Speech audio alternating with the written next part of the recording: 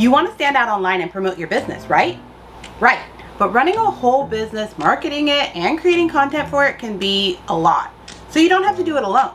So today, I'll teach you how to quickly and easily create an eye-catching Instagram reel using Adobe Express. Adobe Express is the quick and easy create anything app. So that you can elevate your business and your content with ease. We'll remove backgrounds, add animation, and even schedule our content in just minutes. Adobe Express gives you so many options when it comes to creating social content. One of my favorite features is the background remover. This tool can be easily used to catch your attention of your audience. So let me show you how to do it. Once upon a time, removing the background of an image took kind of a long time, but now it only takes one click in Adobe Express and it works so easily. In Adobe Express, you're going to go to Quick Actions, remove background, and then upload your image. Then it will automatically remove the background.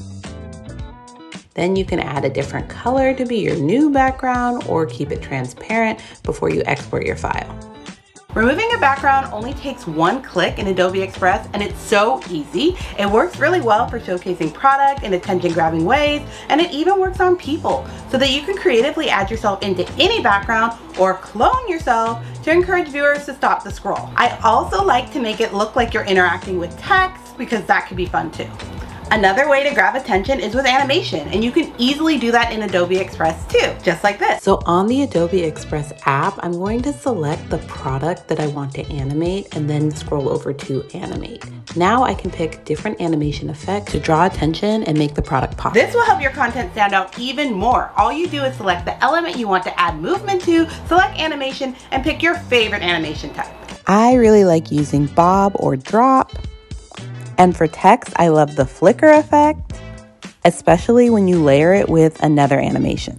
Once you're happy with your animation creation, then you can download or export the file so that you can publish it wherever you want. I like to choose and combine looping in and out animations. I'm also a big fan of customizing the duration and direction of a preset. Once you're done creating content, you can even schedule it with Adobe Express Scheduler. Back in the Adobe Express app, we'll hit menu and then go to schedule. Here it will come up with a calendar where you can tap to add your media and schedule it out. You can add your caption and connect your different social media accounts so that everything will go seamlessly when you're ready to publish. And just keeps you organized to make social media easier. Let's take a look at what we created with Adobe Express.